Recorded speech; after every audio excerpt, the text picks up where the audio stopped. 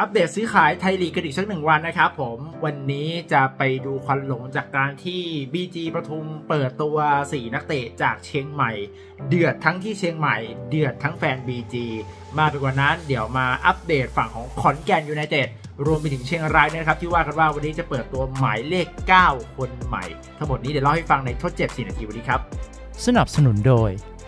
g a l m e Leave Your Mark เหมือนเดิมนะครับก่อนที่จะไปเข้าเนื้อหาหลักของคลิปเราวันนี้นะครับ ฝากทุกคนที่เข้ามาดูนะครับ ถ้าชอบการสนับสนุนกันหรืออยากจะติดตามคอนเทนต์ดีๆนะครับ ก็ฝากกดไลค์กดแชร์คอมเมนต์แล้วก็กดติดตามให้กับเราด้วยแล้วกันนะครับ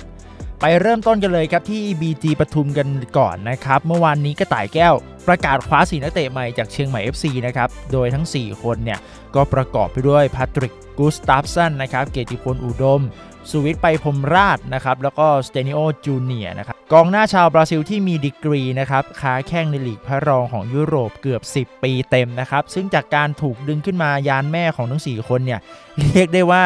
สะเทือนสะท้านยิ่งกว่าบิ๊กแชมป์นะครับทำเอาแฟนบอลเชียงใหม่ FC ก็เดือดกันพอสมควร พร้อมกับแซะทีมตัวเองนะครับว่ากลายเป็นแค่ที่รับ ฝากนักเตะของ BG ไปซะแล้ว ต่างจากก่อนหน้านี้ที่แฟนบอลเชียงใหม่ FC มองว่าโมเดลทีมแม่ทีมลูกนี้จะพาทีมรักของตัวเองขึ้นไปเล่นไทยลีกแบบยั่งยืนไม่เหมือนกับโมเดลของเชียงใหม่ยูไนเต็ดที่ใช้เงินทุ่มซื้อ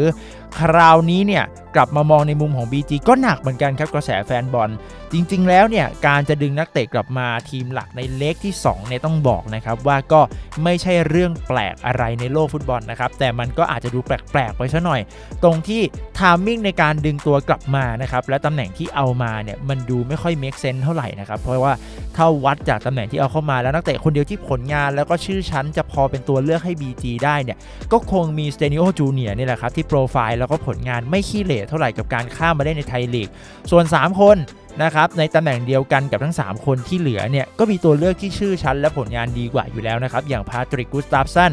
ถึง BG จะกลับมาเล่นหน้าคู่นะครับแต่จะให้เบียดธีรศิลป์อิคซาน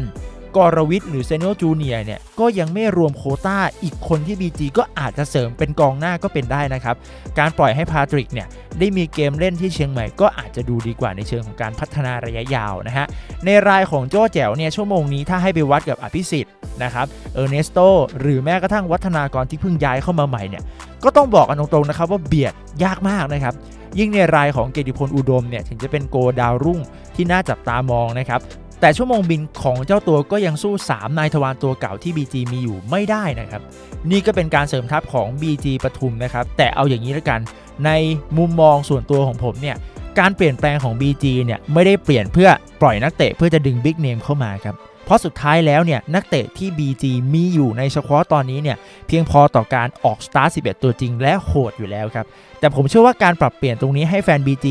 หายใจเข้าออกลึกๆนะครับ แล้วมองว่านี่คือการปรับเพื่อให้สควอตที่เข้ามานั้นเหมาะแก่การเป็นตัวสำรองที่ดีนั่นเองครับ ปรับเปลี่ยนให้บรรยากาศในทีมมันดีขึ้นด้วยการมีตัวสำรองมาคอยแข่งขันและพัฒนาฝีมือ ไม่ได้เอามาเพื่อมาเป็นตัวจริงอยู่แล้ว ให้มองอย่างนี้จะได้เข้าใจกันไปแล้วกันนะครับ ส่วนอีกเรื่องหนึ่งนะครับที่พอจะบอกใบ้กันได้หน่อยนะฮะว่าได้ยินข่าวมาว่า เดี๋ยววันนี้นะครับที่คุณดูคลิปกันอยู่เนี่ยจะมีการเปิดตัวนักเตะใหม่นะครับ อาจจะไม่วันนี้ก็พรุ่งนี้ในโคต้าเอเชียของ BG ปทุม ส่วนแข้งใหม่รายนี้จะเป็นใครหรือเล่นตำแหน่งไหน ติดตามได้ทางเพจสโมสร BG ปทุมยูไนเต็ดนะครับ ต่อกันที่เชียงรายอย่างรวดเร็วเขาบอกว่าวันนี้ตอนเที่ยง 9 นาที มีคิวเปิดตัวกองหน้าคนใหม่นะครับโดยชื่อที่หลายสื่อให้ตรงกันก็คือ เนลสันโบนิยานะครับอดีตกองหน้าม้าพยศของแบงคอกและการท่าเรือนะดีกรีเขาก็ดาวซัลโวนะซึ่งน่าสนใจมากครับว่าโค้ชฮั่นเอง หรือโค้ชคนใหม่ของเชียงรายเนี่ยจะปราบพยศของหัวหอกรายนี้ให้กลับมาเป็นตัวท็อปของไทยลีกได้หรือไม่ ปิดท้ายสุดท้ายในคลิปนะครับ อย่างขอนแก่นยูไนเต็ดที่แฟนจงอางพี่ออกคอมเมนต์เข้ามาขอข่าวซื้อขายกันหลายหลายคอมเมนต์นะครับ ก็ทีมงานก็ไปหามานะครับ แต่ต้องบอกแฟนขอนแก่นนะครับ ว่าข่าวที่นำมาเล่าให้ฟังส่วนใหญ่ ยังออกไปทางข่าวลือนะครับ ที่ยังมีการเปลี่ยนแปลงได้ตลอด ฉะนั้นถือว่ารับชมเพื่อความบันเทิงแล้วก็เอาไปคิดต่อแล้วกันนะขาเข้านอกจากลิดอร์โคเฮนนะครับได้ตัวรุกมาจาก BG ได้รับการยืนยันเรียบร้อยนะครับนักเตะโควตาต่างชาติรายสุดท้ายที่จะมีข่าวและเกี่ยวโยง กับขอนแก่นในเลกที่ 2 นั่นคือเดนนิสมูริโลครับกองหน้าตัวเก่งจากชลบุรีนะฮะที่จะเข้ามาเป็นคู่หู partner คนใหม่ของอิบสันเมโลซึ่งตอนนี้คงอยู่ที่เจ้าตัวแล้วครับ ว่าการหายเจ็บกลับมาครั้งนี้ จะลงเล่นเพื่อเรียกความฟิต หรือจะต่อสู้ที่ชลบุรีในการเบียดตัวจริง ซึ่งเอาจริงๆณเวลานี้ยากจริง ๆ ครับ แน่นอนนะครับว่าการมาของเดนนิสและลิดอร์โคเฮนในสล็อตโควตาต่างชาติก็ทำให้โรเบโรคาบราวแล้วก็วิลสันเมโลนะครับน้องชายของอิบสันเนี่ยก็ต้องย้ายออกจากทีมไป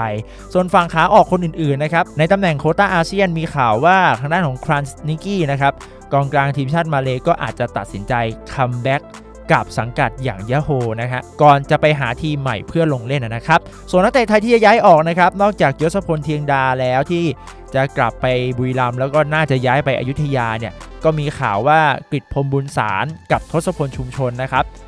สองแข้งแนวรับของทีมก็อาจจะต้องลาทีมไปเหมือนกันนะครับ อะ นั่นเป็นข่าวซื้อขายทั้งหมดที่วันนี้มาอัปเดตให้เพื่อนๆฟังกันนะครับ ถ้าชอบคลิปนี้อย่าลืมไลค์แชร์ กดติดตาม และคอมเมนต์กันด้วยนะครับ